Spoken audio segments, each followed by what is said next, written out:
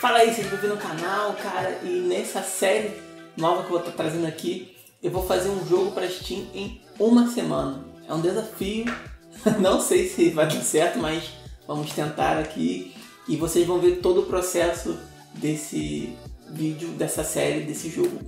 Para começar a explicar por que eu estou fazendo isso, porque é interessante você saber o motivo, não é fazer um jogo rápido nas pressas de corrida, não é para testar uma única coisa que eu estou aprendendo e eu quero fazer isso na prática. Eu acredito eu que quando você sai da teoria e testa na prática, ainda mais com o jogo, a gente realmente aprende. Então não adianta ficar estudando algo e não botar em prática. E o que eu estou estudando há um tempinho é como criar um bom hook para os jogos.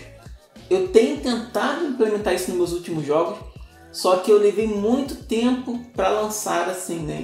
Então o Hulk é uma pequena parte do jogo, mas o resto me tomou mais tempo e eu acabei perdendo o equilíbrio do escopo. Entenda, meu objetivo esse ano, e esse ano principalmente, é fazer jogos rápidos para que eu aprenda mais. Então eu ainda estou aprendendo como fazer jogos cada vez melhores. Eu sei que assim, eu já cheguei no nível de conseguir fazer um jogo comercial, igual o último vídeo que eu comentei com vocês, mas eu quero fazer um jogo que venda mais. E para isso a gente precisa estudar como que vende, como que um jogo vende, como que desperta interesse, né? E essa última matéria que eu estudei, que é como criar hook para jogos, fala exatamente sobre isso. Só para definir um pouco, o que é um hook? O que é um bom hook? Ele é dividido em dois elementos. O primeiro é algo surpreendente e o segundo é algo desejável. Então, unindo esses dois conceitos de surpreendente e desejável, você tem um bom hook. Nos meus jogos, eu coloquei mais desejável do que surpreendente, faltou o elemento surpresa. Então, coloquei um pouco só de elemento surpresa no jogo, mas não o, algo que ficasse, nossa, eu quero jogar isso. Então, é como se a gente saísse da curva do genérico e fosse cada vez mais para algo distinto. É mais ou menos isso que eu quero fazer a partir de agora e eu me dei esse prazo de uma semana para que eu foque apenas no Hulk do jogo. Então eu vou lançar um jogo muito simples, de um dólar, porém extremamente polido e com um Hulk que eu acredito ser o caminho daqui para frente. Beleza, vamos lá galera. E para começar a gente vai entender um pouco sobre o que é um gênero viável. Que a primeira tarefa desse desafio é escolher e definir qual gênero você vai fazer um jogo. É, pode parecer muito óbvio, ah, eu quero fazer plataforma, eu quero fazer estratégia, eu quero fazer isso. Mas se você começar a fazer nas cegas, você vai perceber, como eu percebi na cara, que tal gêneros não são tão viáveis comercialmente. Ou seja, você vai acabar produzindo jogos que ao decorrer do tempo não vão lucrar o suficiente para você se manter produzindo jogos. Então, para a realidade que eu falo aqui no canal, realidade indie sem investimento, que é você começando do zero aí na sua casa, no seu computador, igual estou aqui, depende muito da estratégia de lançamento dos jogos que você lança para você se manter no mercado. Então, eu agora estou tentando colocar isso mais na minha vida, porque até então eu lancei cinco jogos e dos cinco, nenhum foi considerado um gênero viável.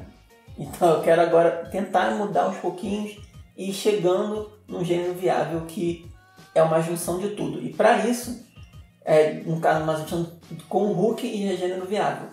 Para você fazer um jogo que não seja de um gênero viável e se dar bem, pelo que eu estudei, é preciso ter um Hulk muito forte.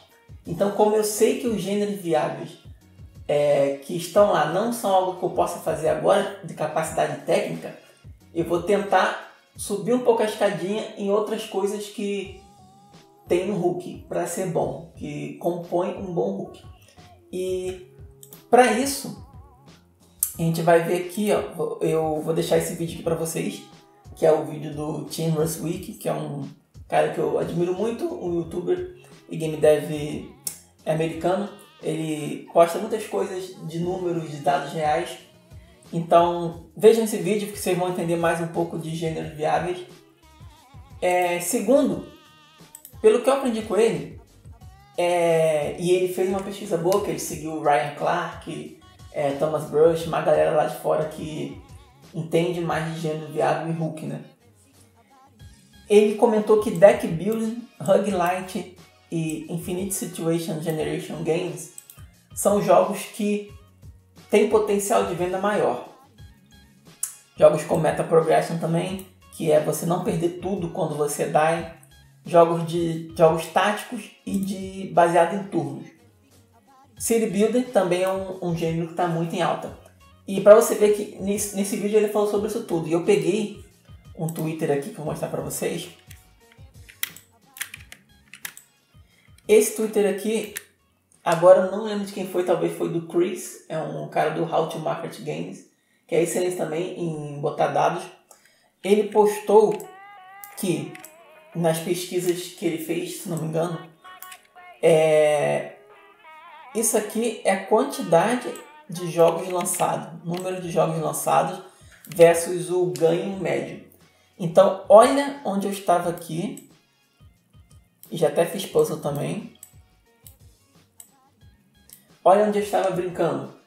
A competição aqui é altíssima, altíssima. Então, para eu fazer isso aqui bem feito, ou seja, um puzzle plataforma ou um puzzle plataforma, eu tenho que ter um hook muito bom e o hook leva a ter qualidade de um jogo muito bom.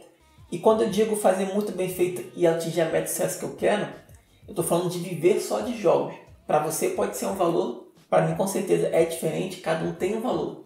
Mas atualmente eu pretendo mirar na casa dos 2 a 5 mil reais por mês.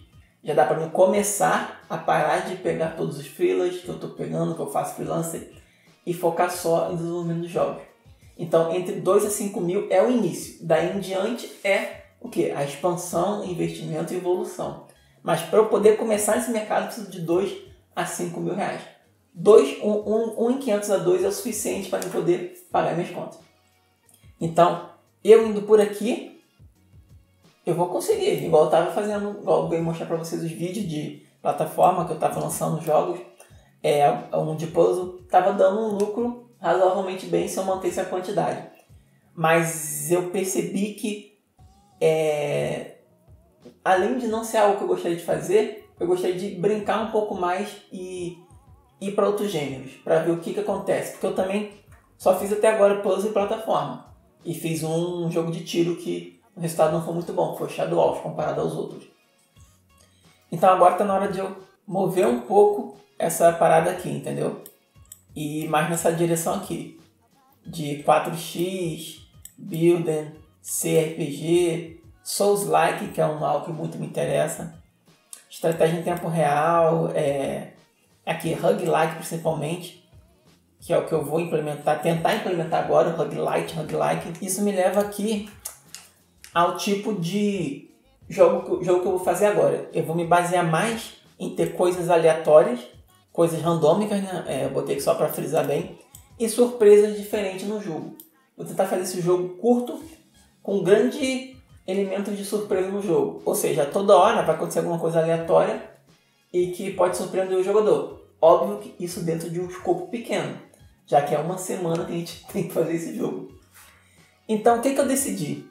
Eu gosto muito de dados que gera uma coisa aleatória. O dado, né? Você não sabe qual número você vai tirar.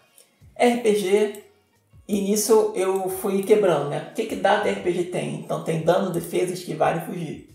Então eu acabei criando a ideia de um jogo que você vai usar dados para definir o seu nível de ataque e o seu tipo de ataque. Eu já evolui um pouco essa ideia, como esse é o primeiro vídeo, mas eu comecei a trabalhar no jogo ontem. Ontem de noite, se não me engano. Não, ontem de manhã. Então hoje seria o meu segundo dia de produção. Então eu já evolui um dia. Nesse um dia eu tive essas ideias, fiz a pesquisa, estudei é... E para estudar o, o, escopo de jogo, eu uso muito vídeos de jogos feitos na Ludumdare, que são jogos extremamente curtos extremamente profissionais. Qualquer jogo que você pegar aqui desse vídeo, que eu estou mostrando aqui agora, foi da Ludumdare 48 e jogar na Steam, com certeza tem potencial, porque são jogos muito inteligentes e divertidos. E depois disso eu fui pegando jogos para me basear como referência. Aí eu peguei o Blight, Blightbound, que é a câmera que eu vou usar, vai ser essa câmera aqui. Ou seja, já é uma câmera um pouco mais popular no mundo dos jogos em relação ao gênero. Já não dá aquela ideia de jogo de plataforma, já é um jogo mais top-down, só que com personagem perspectiva. Isso, isso lembra mais Light. Esqueci meu ponto. Lembra mais Roguelite, Roguelike, Roguelite que eu quero chegar. E vai ser um jogo de ação com coisas aleatórias, com minha praia é ação, com ataques e, e tipos de ataques aleatórios. Claro, jogando no dado. É, e eu peguei essa referência como estilo de arte, que é o Dark Dungeon. Vou usar esses personagens nessa estrutura corporal, nessa proporção. Você vê que não são personagens com proporções humanas certas, eles são um pouco menores e eu acho que isso fica legal. É até um pouco parecido com Blight Brown aqui, ó. Você vê que não é totalmente aquele personagem humano grandão, ele é um pouco encolhido. Eu acho essa proporção muito legal para os jogos.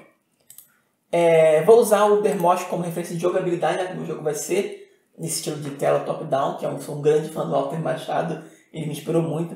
E o Ubermosh, para mim, ele acerta em cheio essa ação frenética de tiro.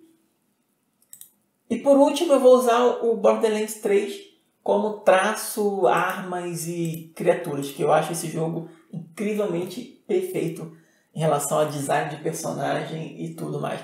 Então ontem eu fiz isso tudo, é, pesquisei, defini o jogo. É, foi uma tarefa difícil porque faz tudo isso em um dia. Eu me dei uma limitação, né? Em um dia foi, foi punk. Ontem eu fiquei 12 horas só para fazer a ideia, o texto do jogo, direto. E quando sobrou um tempo, eu consegui ainda. Ontem eu trabalhei direitinho. quando sobrou um tempo, eu consegui ainda adiantar o rascunho do personagem, que é o que vocês estão vendo aqui agora. O estilo de arma tem, tem é, influência pesada em Borderlands e o estilo do personagem, que vem da ideia que eu tive. Então, é, esse personagem ainda está em rascunho, ainda vou trabalhar um pouco mais nele, mas já dá para ter uma noção de como será o estilo gráfico do jogo. Eu vou tentar, nesse jogo, fazer desenho mesmo e não pixel art, como foram meus, meus últimos dois jogos de ação. E vou tentar fazer algo assim que caiba no, no orçamento do nosso escopo de uma semana. Mas com o personagem principal definido, eu já tenho mais um caminho andado. Ele vai ser tipo um caçador de almas malignas. É como se ele fosse um mercenário. Ele trabalha por contratos e isso vai acabar colocando, gerando situações futuras, quem sabe uma continuação.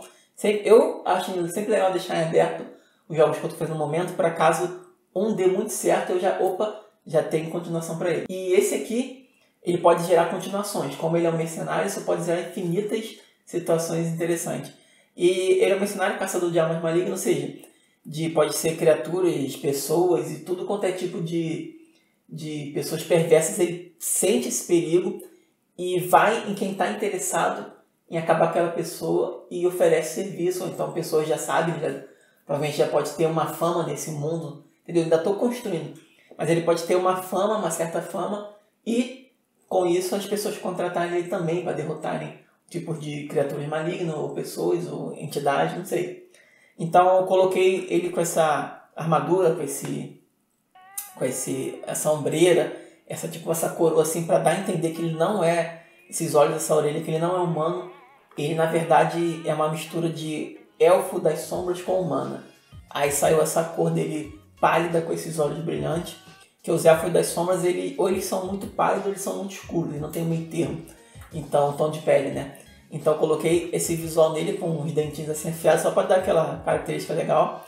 E roupas estilo mercenário mesmo, com vários cintos passando para guardar os equipamentos, bombas, colchete, bracelete. Essa é uma das armas que vai ter, vou criar mais.